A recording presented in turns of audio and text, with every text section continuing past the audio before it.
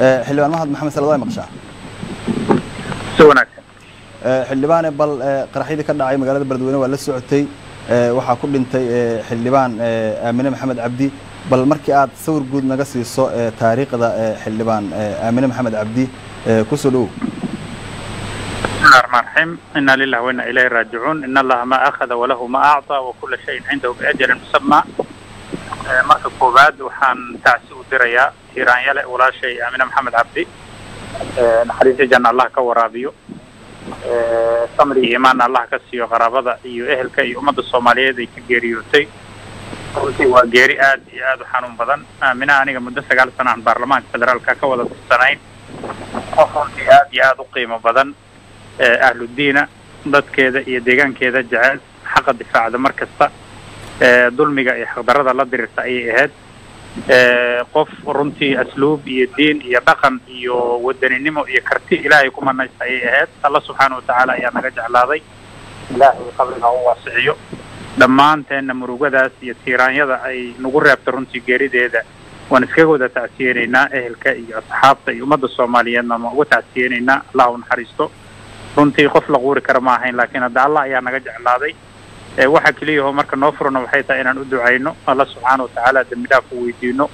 Dadka ehelka iyo asxaabta iyo ummadda soomaaliyeed ay ka geeriyootana aan uga tacsiyey maadaama xildhibaan aamino ay ahayd sidaad sheegtay xildhibaan sagaal sana as taqaaneen aada isugu dhaweydeen ma jirtaa waxyaabo ay ka tabanaysay ama ay cabsi ka qabtay intii ay joogtay magaalada beledweyne ee gobolka hiiraan runtii aniga aada xiriirkana ugu badnaa oon u wada xiriirayna muddadii hadda ay joogto magaalada beledweyne iyo intii xamar ay joogtaba wixii ka dambeeyey dhacdadii lagu waayey gabadhii walaasha aamino waxaa u imaanaya runtii handadaado uga imaanaya nidaamka hadda dalka ka jira.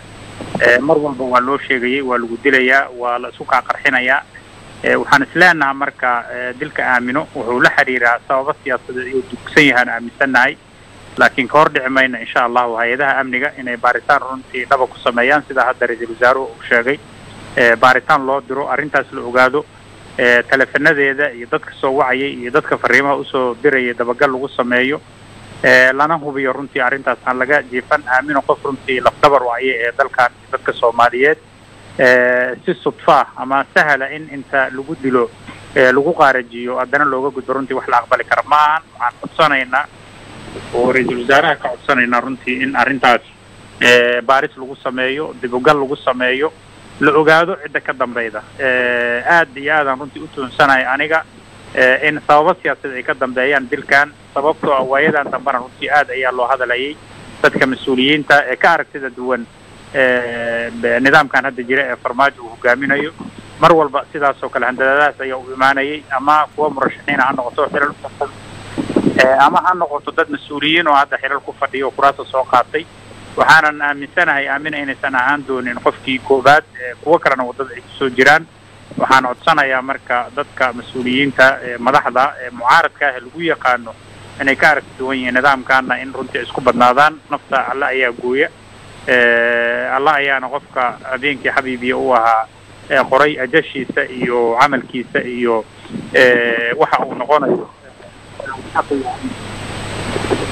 marka waan codsanaynaa marka arrintaas in baaritaan lagu sameeyo laga daba tago oo aan lagu dhaafin cid xildhibaan waxaa sheegtay in aamino arrimo siyaasadeed loo dilay.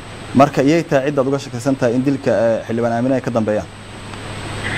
Aniga hadda hebel hebel malihi laakiin waxa saas aanu leeyahay waxay tahay muddadii dambe ee aamina ay difaacaysa kiiska ikraan tahliil. Wixii ka dambeeyey waxa u imaanaya handadaadahaas uga imaanaya nidaamka hadeertan dalka maamula ee farmaajo iyo tiimkiisa. Waxaan rabnaa marka annaga hebel iyo hebel hadda ma lihin. Ka hor dhici mayno baaritaanka laakiin waxaan codsanaynaa sida ra'iisul wasaaruhu amray. Baaritaan rasmi in lagu sameeyo arrintaas laga daba tago la ogaado ciddii shirqoolkan ka soo shaqaystay iyo ciddii fulisaba. Xildhibaane waad maqashay waan la socotay qaraxyadii ka dhacay beledweyne oo xildhibaan aamin ay ku dhimatay.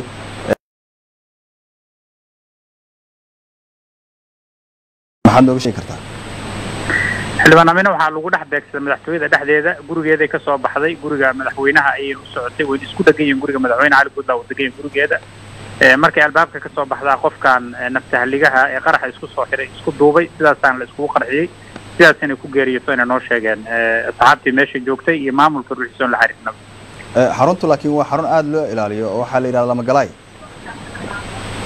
waa la ilaaliyaa waxyaabaha u baahan waayo runtii in baaritaanka lagu sameeyo. Markaan waraysto xildhibaanada iyo dadka siyaasiyiinta meesha jooga dhowr jackpointi oo la soo maro oo dadka lagu baaro oo lagu hubiyo inay meeshaas ku yaalaan ana loo sheegay waxaan aaminsannaha marka waa midda aan leeyahay waa shirqool la fududeeyey. Arrintaas inaan la fududaysan ee baaritaan rasmiya lagu sameeyo la ogaado.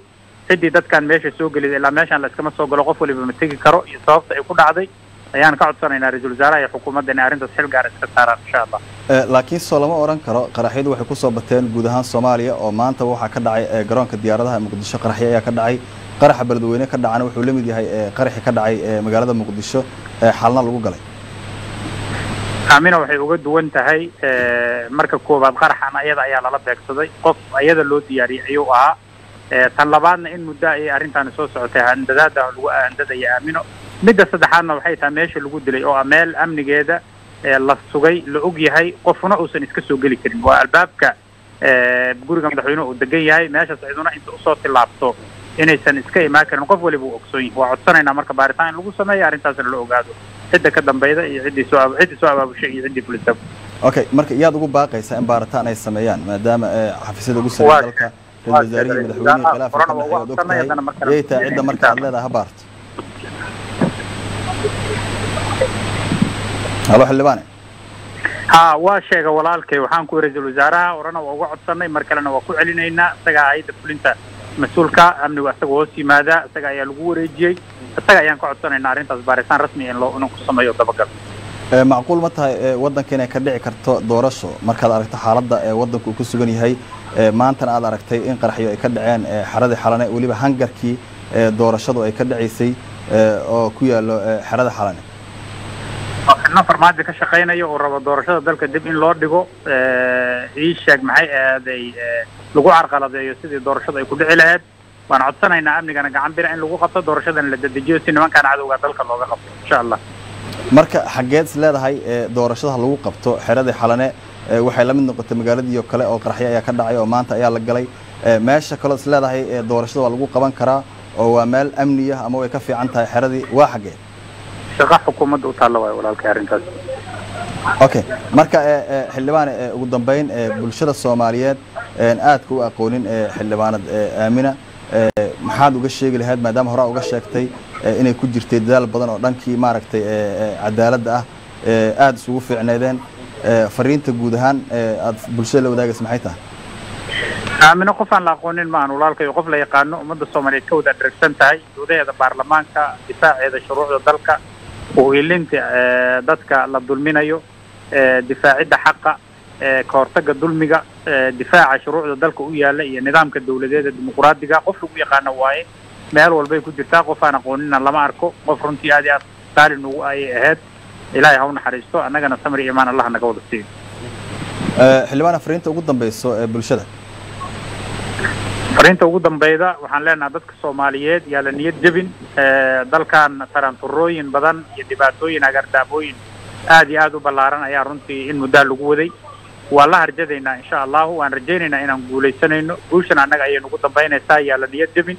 Dadkan cadowga ah oo issoo bahaystay qolana shaar dawladeed ay gashan tahay qolna shaar diimeed ay gashan tahana dalka iyo dadkuba waa ka xoroobayaan insha allah waana mahadsanta aad ayuu mahadsan yahay kaas wuxuu ahaa oo ka warbixinayay taariikhda kooban iyo weliba xoogaalnimada uu leeyahay xildhibaan aamine maxamed cabdi oo qaraxyadii ka dhacay caawa beledweyne ku dhimatay